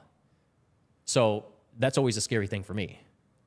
So if you have, let's say, you own equity, and there and it's a long term, ten year investment, I just I'm, I, the risk you should understand the full amount of risk and you would hate to get knocked out of something at a bad price because of some glitch or some issue I'm not saying it's going to happen but it is possibility It happened to me. I was holding a couple of altcoins with Kraken, the broker, Mm-hmm. and they pinned me out with a stop in profit. I was in at 30 cents. We're at 75 cents. So I take some off. I lock a stop. Kraken pins down. No other brokerage has a pin on the chart. Just my broker. My broker stopped everybody out who had stops locked or stops in that area. We get taken out. I'm out of the position. I can't get that price again. Right. Yeah. So I totally understand what you're saying. So sometimes that stop loss depends on what you're trading and what the thesis is. Mm-hmm. All this comes back to what is the idea, right? Where is it invalid and where do you want it to go? But I totally understand too with what you're saying about like if you have a longer term idea, don't don't make it more complicated. If you're trying to do something longer term, the stop loss could hurt you. Just buy and hold the stock. Don't even worry about the option because the op- is the, is an option a vehicle for long term investing or is an option? Yeah, you could. I mean, there's ways to structure. Sure, you could buy options, I guess, that expire in a year. Yeah, I mean, there's ways I use structure options to to mimic synthetic of, of a long position over Okay. time. I prefer options just because the the amount of capital that it requires versus buying a stock. Yeah. And having that risk. Again, I, I, I worry about that stuff, the Right. risk. I mean, I was short BP puts during the BP spill. I lost a ton of money during that. It was my worst loss. I lo- two of my biggest losses ever were short puts on MasterCard and BP. Really? What happened? Well, BP, I got in front of a train. I got, I got in front of a train, and the size continues to grow. So what happens is you get short a put, it's out of the money, becomes in the money, it becomes. Uh, it it- we refer to it as getting teeth. It gets teeth. It gets very vicious. um, Mastercard was I had sold these out of money puts, and Congress had at that time came out with um, capping its rates. So these out of the money puts that were essentially like five cents. I just because at that time I was just letting things expire, worthless, bad thing to do. Even though it's a high probability, this is what we're saying earlier. You can have a high probability of success or of making money, but if you're not getting paid on it, or there's a 10% chance, or you could have a 95% chance, but the amount of money you're collecting and then you're not managing it, and all of a sudden that 5% does happen, it's gonna it's gonna wallop you. So what happened was is that they capped it, and um, that those sh- shares sank lower, and it went through those puts, and I just had too much of a loss or too much too big of a size because of it. Yeah. So I mean, we're talking about quarter of a quarter of a million. Yeah. What with the BP? What was the thesis behind that? Why were you selling puts? Well, I didn't think it was so bad. Did you take that position after the spill? Yeah. I didn't think I, I, after watching it and things were happening, but You're like, I- oh, the fish will be fine. the fish will be fine. Yeah. But I didn't think it was going to be that. I mean, BP is going to bounce back. Huge company, right? Right. But it was just this became this over. Well, because it got Dramatized. news, right? It became when there's other spills going on throughout history. This one, that one, captivated everybody. Correct. And that's why I, I learned a big lesson on you know stepping in front of that kind of stuff. So in that moment, those big losses, other than, of course, being prepared for it, which is difficult for the next one, what do you take from it still today? Since those two clearly stick with you, Mastercard and BP. always size. So what we talked about in the beginning, understanding if this happens. The what best thing to understand, like any decision in life, is like what is the outcome? What happens if is the best thing. Do you think worst case?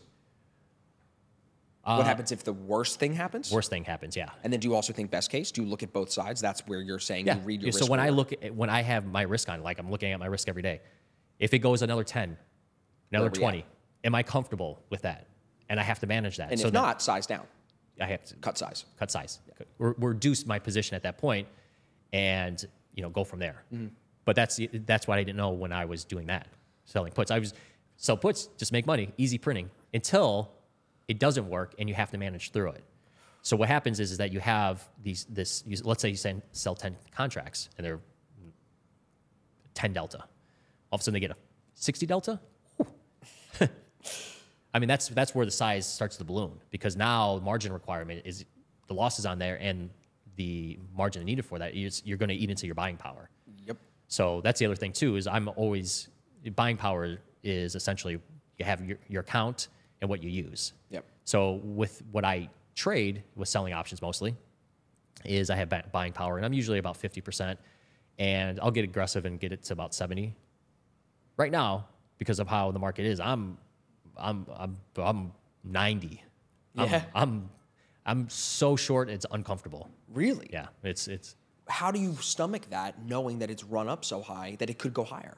well because I've had these positions on from November and it's November. yeah. Oh, so you you're comfortable at this point, it's not holding on to this short. Yeah, I mean, when I sold them, they were 10 delta. But again, you have to understand, like, that is the aspect of what can happen. Typical thesis is market's not going to melt up. Okay, well, market melted up. you were wrong. And it's it's just a slow grind higher. Would higher. it not make sense to get out and get back in now that it's at all time highs? with the positions that I have now? Yeah. And and, and also you can have a high probability, but there's a high probability of also touching. So let's say you have something that's true. That's something that's um, a 10 delta. So that's a 90% chance that it expires worthless. Right. Or out of the money. But it's also a 20% chance that it will touch. So, So- it's like, oh, So you, you have oh, to be, t- it's tasty. well, you if you understand those guidelines, then you know that there's possibilities That this pays. that this can happen, right? It can touch, meaning that it's going to go against you, and you have to ride that drawdown. Sure. So in this situation, I know the numbers. So being that I'm managing it and understanding the risk before getting involved, I mean, it's not where I want to be. That's that's for sure. No. On, on these positions here. So I know you've had situations like this before where as soon as you get out of this position, it's going to fucking tank. Well, yeah, that's the aspect. I mean, you just have to ride through it. You gotta ride through it. Yeah, you just have to ride through it. I mean, if this was a, um, if this was like Nvidia, I wouldn't. a- Again, that's not what I'm doing here. I'm on the S and P 500, Right. which is a big index. Right. There's 500 stocks that control it. Right. I'm not talking about one stock. No. I want, and, and that's what I hate. I don't like selling options on individual names. Typically, I, I will on certain- Riskier? uh, no, not on riskier. I mean, like McDonald's, I'll sell puts. Okay. Coca Cola. Okay. And you could sell calls as well because Sure. it's not going to get taken over. But like Nvidia, I wouldn't sell calls against. Maybe puts. Um, and that's an understanding of like how under like what each product is different and how to approach it. So a lot of a lot of times people like to use the same strategy over and over again. I'm going to sell puts and calls. No, not going to do that. Like I wouldn't want certain strategy or what, certain stocks to have that risk on. I've, I've had biotech stocks that I've done stuff with. Complete nightmare of like waking up the next day with some surprise news and you know having having problems with it. So They move, man. Those biotechs can move. yeah, so that for that Oh, we just discovered a new cancer drug. Oh, wait, just kidding. It actually doesn't work. Yeah, so if I have a thesis on that, and I'll structure a position that's long Right. out of the time, w- w- further down the road. Out of the money. Yeah, I won't buy the stock or anything like that. I won't sell puts either or calls. Right. I'll structure a spread or some kind of uh, structured trade on that to, to play that It's interesting. position. do you you keep mentioning strategy you've said a couple times that you use different strategies Mm-hmm. you see because you're on social media all this ict strategy smart money concept strategy as being somebody that was on wall street what are your thoughts on smart money trading as a retail person is that a thing Well, there's people that have knowledge. sure There's people that have inside information, and in inside information, it just the other or on Friday, the Wall Street Journal, somebody was listening to their wife, not on purpose, but overhearing uh, different information that his wife was talking to uh, about their business, and was trading off of that.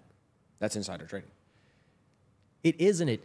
I mean, it's it's like a birdie told me. right uh, it's this is the gray area where I feel like all the deals and the we're in the sauna and you see me texting somebody something and it's important and you make trades off of that. Well, I didn't tell you, but you did hear from a little birdie in the sauna. Right. Yeah. That, that's how they disguise it. Yeah. The the gap of information is as less it's ever been. Yeah. But there's still people with information, and when I say information, it's not like bad information. It's that they do research. Sure. They sometimes people get ahead of pr- press releases because they scan websites, and oftentimes a company will publish something and have it saved, Sure. or not publish it publicly. Um, so Time it properly. They control the timing of the release. yeah, so they'll have it published, but it won't be visible. It won't hit the right. But hit. something will that something will scan the site. Yeah. and people will pick it up. pick it up.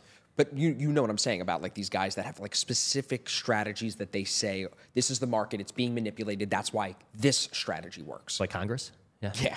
But because my thought has always been, and tell me if I'm wrong, there's an unlimited, because markets are so um, unique in the fact that no one, in my opinion, again, opinion, I don't know. I didn't work on Wall Street. I didn't. I only worked at T3 for a year. My opinion is the only the market. That's good though. I mean, like don't, don't undersell that. Right. No, That's experience. I know. But I'm just saying, like, I don't think anyone knows where the market is going. I don't think Goldman or BlackRock know, other than the idea that money's going to flow into the market. I don't think it's manipulated like some of these guys say it is, especially like certain guys are like, gold is manipulated and that's why it doesn't leave 2000 and blah, blah, blah.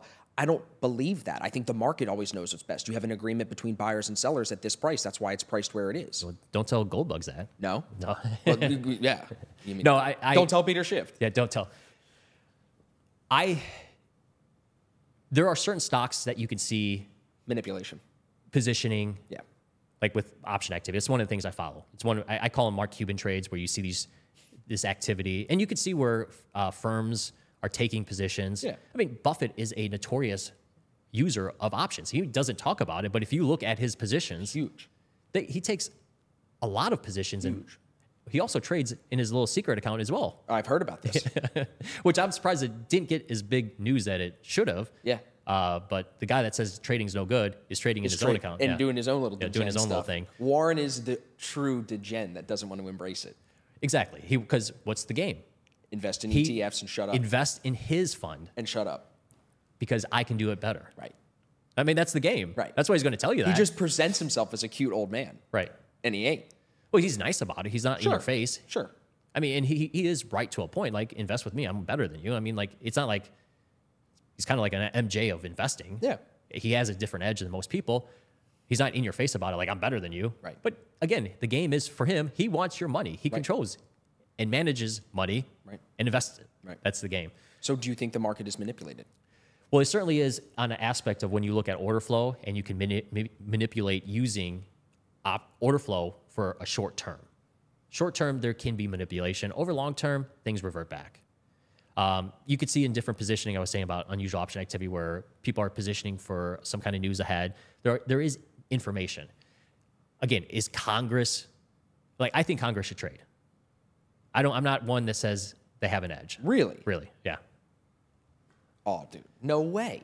How do you think they should? Why do you think I they should be understand the conflict of interest. Yeah. But I think Congress people should trade because they are more engaged with the marketplace and they understand it on a more sophisticated But level. they get closed door hearings where they hear what Google's doing and the government it's all public though. Is it? Yes, it is public. just People gotta just do don't the pay research. attention. It's just easy to have outrage that Nancy Pelosi bought Nvidia when anyone could have looked at the chart and said Nvidia It's true. Or Amazon. I mean, the market is the market is going up. First of all, so you have the natural bias of this of, of that. Now, Nancy Pelosi does have a husband that is very sophisticated in the investing market, and that's why she probably has the success of using options the way she does. Okay. But is there when COVID happened, they had a hearing.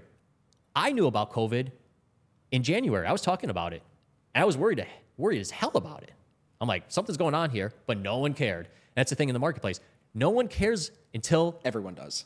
everyone does. Yep. So it didn't happen So until you were already thinking then in January, Zoom, work from home. I stuff. recommended Zoom. I remember. I saw the Yeah, it was a, a- one of my it was your one to watch. yeah. Well, I I yeah, 2019 because I was like, oh, it's going to become the Google.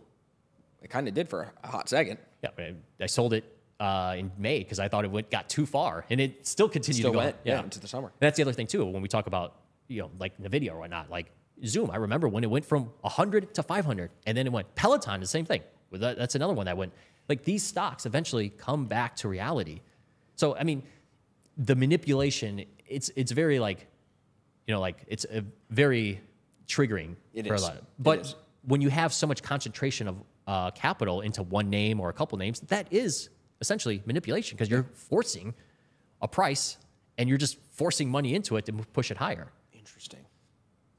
I, So it doesn't always have to be doom and gloom on the manipulation mani- part. right. That's a really good point because manipulation comes with the connotation that it's going to be. And nobody cares you. about manipulation if prices are going higher. They only care if it goes lower. I think they also only care if it's Nancy Pelosi and you weren't in it. You're not in Nvidia. She's making money on Nvidia, so naturally you're going to pick at her. Yeah, I think it's easy for a lot of people to get upset about Nancy Pelosi that are not engaged in the marketplace because they think they have an edge. Right. I mean, I understand that aspect of like this information, but okay, you don't, you can know earnings. You could have known earnings of NVIDIA were going to be higher. And you could have had that information. Sure, if you bought calls, you, you- made money off Yeah. of it.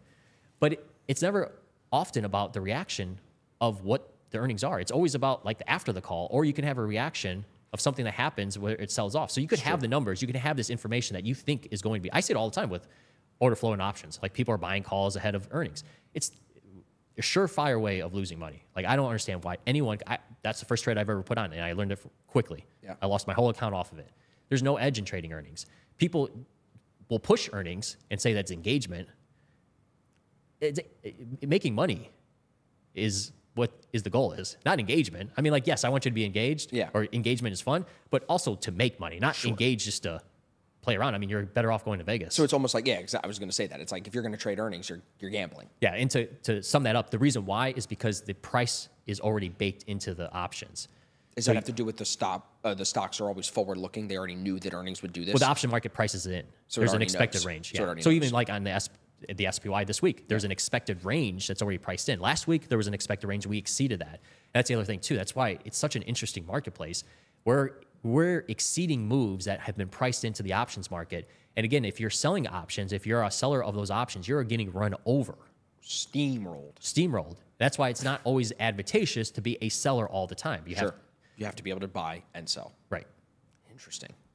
So, as we, I think we've gone almost two hours. This is good. This is one of my longer episodes. Oh, cool. Um, I have just so many questions, and you're Keep ve- going. You're very knowledgeable. Um, but I do want to pin it because I think we will need to do a part two when we hear some follow up to this. You don't, again, I- you speak from a very um, knowledgeable and I would call it sophisticated background. You have a lot of experience. You've talked to a lot of people. You know a lot of the big traders. You know how these things operate. Well, I love this. I love. I mean, this is my life. I've done 20 years. Oh, of you this. can tell. Yeah. I mean, I. re- What I wanted to do was to get into the the marketplace At to become 15 or rich. 16. Right. Well, to get rich. Right. So I mean, while I, it may seem like I'm. It's understanding the players. I mean, these are our opponents at the end of the day. So, I mean, I respect them. Mm-hmm. Respect the hell. I mean, they're s- smartest people in the world. To think that you're going to beat them is a whole different can of worms. True. I mean, you're crazy. But there are opportunities for small investors, you and I, to take advantage of because the amount of capital that's needed, when they take on capital, they have to make a certain amount of money. Mm. So if I open my shop, I have a nut to cover. Right. And if there's a strategy that doesn't make me money to cover that nut, I'm not going to do it. So that's where there's a lot of opportunities, okay, that are available for investors to be able to take advantage of. So many people want to do like, oh, what's this hedge fund doing? What's that? No, that's not what you want to do. That hedge fund has different pods, and you don't know. You can look at their reports, but you don't know if this pod is actually the one that's good at picking the Could right stocks. right. Could- It could be losing. Right, right. Or you don't know their positions that they have. They could be, they only have to disclose their equity positions. They don't have to disclose their option positions. Really? Yeah. So you could, they could be short. That's that's where I do get a little shit. That's a little shady. Why you got to disclose your equity positions and not your options positions? I, I'm not quite sure on that one. Well, I, I would, the reason why I would say that is because when you have a lot of capital, they're, they're fighting each other at the end of the day. Yeah. So if they know position wise what you have going on, they're going to try to attack that. So Yeah. they're, I mean, while again, this is the game that they have to play. Sure. the reason why they wouldn't want to disclose that is because they don't want to have their full Right. position out there Right. to be Vulnerable. be vulnerable yeah Yeah. Remember that famous fight between Ackman and Icahn on CNBC? yeah I listened to it again for the like first time listening in a while. It was so funny. I watched the video on YouTube. It's like the most played CNBC clip ever on YouTube. They ever ask you to on CNBC yet? no You want to go on CNBC? yeah i'll go on I think you do well on it. i've been in the dark for some time i mean i've been doing this for a while and i've been i've been i, I would I've been dark not like dark like No, I know what you mean.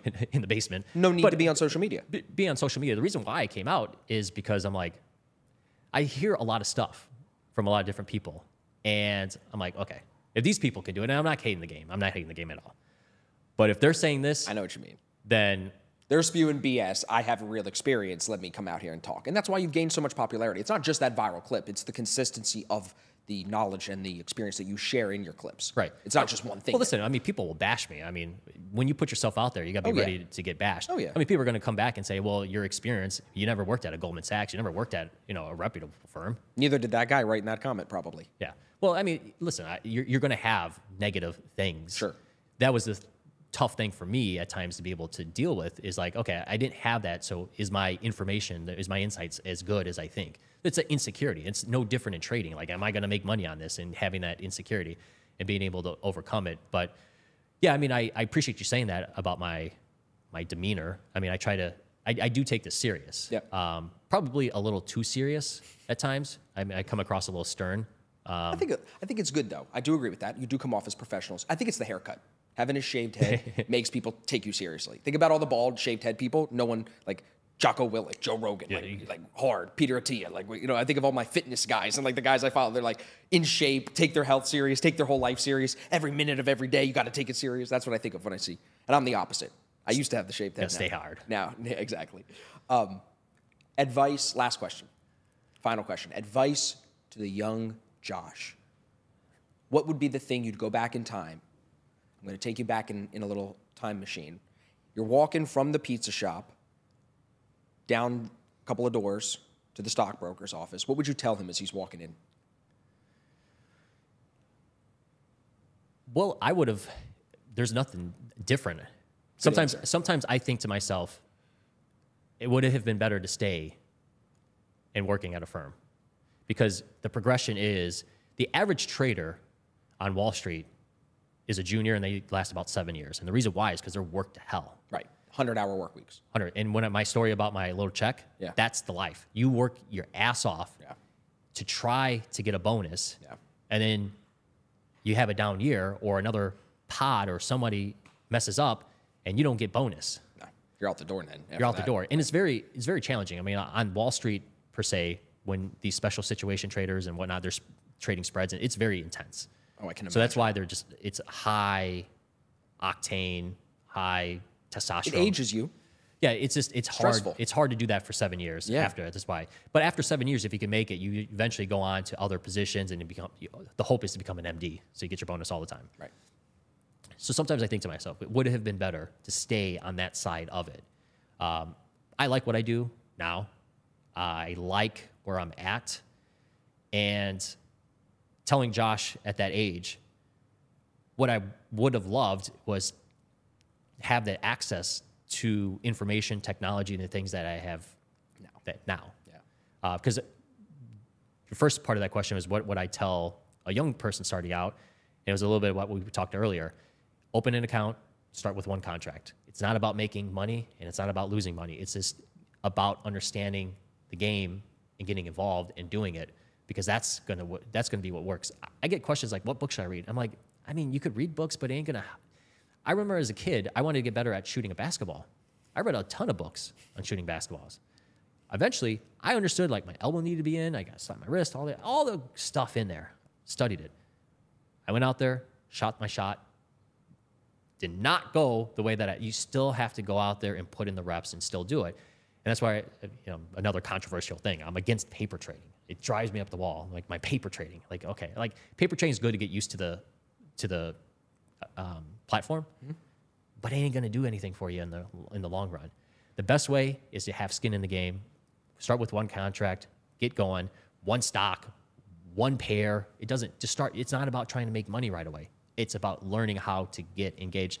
And that was the thing that I wish I would have started a lot earlier was getting more engaged with trading early on. I thought being a broker was where I wanted to be, but eventually after being a broker, I got to be on a trade desk. That was my trading experience. And that's where I started to learn a lot more and like that a lot more. Sure. Good answer. Very well rounded. A couple of good tips in there. Anything you want to finish with? Any last minute? Because I'm, I'm sure we've kept some of the audience.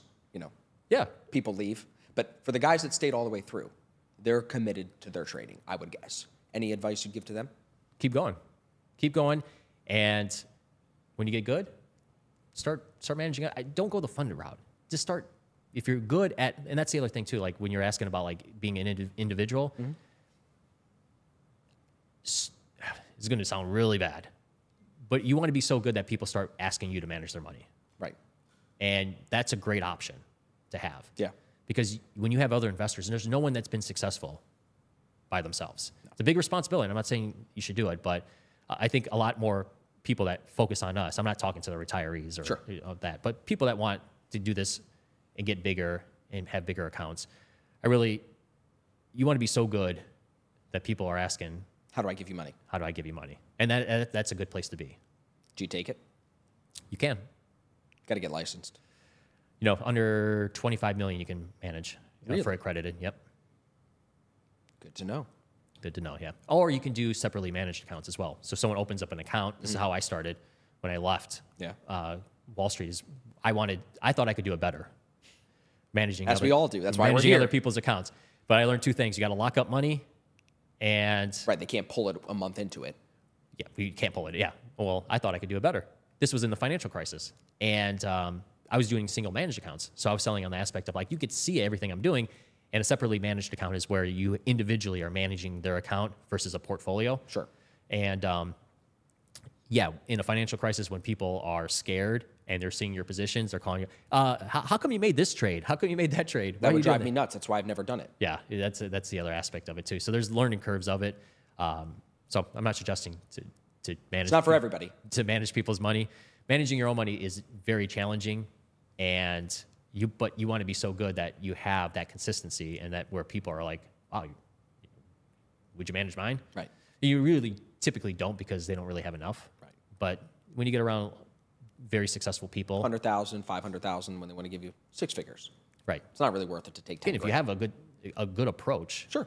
I mean, Karen, the super trader, is a, a lady, and she got uh, dinged by the SEC, and what she was doing was, I guess, not recording. It- She she returned all she returned money all to investors with profits, but how she was getting the noting the positions when she was rolling, You did it wrong. She yeah she was doing them wrong. She See, that's what I would do, bro. I'd make money and I would do some paperwork wrong and get dinged yeah for that. Well, that's the the complexity of the financial or the That's why you need to lock up money and charge a management fee because you need to pay people on your staff to take care of that shit. yeah that's why it's so expensive on Wall Street. Yeah, that's what I've uh, heard. because of the regulations Right. and um, risk team, Right. Legal team. compliance. Right. Yeah. It's a lot. It, it is a lot, but And being on your own is nice. Saying what you want on social media is nice. Not having to worry about your making your investors happy is nice. right, right, right. But to me, honestly, the best. I, I love the market. I trade the market. Um, my play is I wouldn't want to manage anyone's money uh, in the marketplace just because it's I feel comfortable do, doing it myself. But that's where real estate's at. Yeah. Real estate is a good Yeah. way to take money from the marketplace and plug it into something to to ca- cash flow because you want a bankroll. You got to make sure you, something could happen. You ask any trader. That's one thing I took on the floor. You got to be prepared if something happens. Sure. You know, like one, you got to be able to come back tomorrow, but two, if something were to happen, you got to have something that- Cooking. cooking, yeah. Yeah. You don't want to be. Well, you, you tell your wife you, you don't make it back, you get hit by a bus, and like, oh, you don't have to close these positions out. Right. it's true. I love it. Josh, I appreciate it. this has been, been awesome. fun. Yeah, this has been good. I think we definitely need to do another one. Yeah. Whether we link up in New York or we do it again here in Miami, this has been great. Or got a lot to share. Or Chicago. I'll, I have a couple of people actually, depending on when you go back to Chicago, that I got to sit down with. So maybe we will do that. Yeah. Just not on the west side, right? East side. East side. Sorry, east side. Stay away from east side. just kidding. I'm just kidding. I'm just messing. How about we stay away from the inner city in general? We'll go outside the city a little bit. You have a you lived downtown when you were in Yeah. Chicago, right? That's where we're moving back you, again. You're in the mix. You like Yeah. being in the mix. You're So if we get down there, yeah, be able to get on the, the floor, see 'em- or the CBOE. dude, that would be sick. Yeah, it's not as, No, no, no, it's not. Uh, but they have their little mimic o- open outcry. Of course. Yeah. Love it. All right, listen, everybody. Thank you so much for staying all the way through. If you listened, if you watched, no matter where you're at, make sure you drop a comment. Let us know what you think. Let me know what you want me to ask Josh next time we have him on. We appreciate you. We love you. Make sure you're subscribed. We'll see you in the next episode.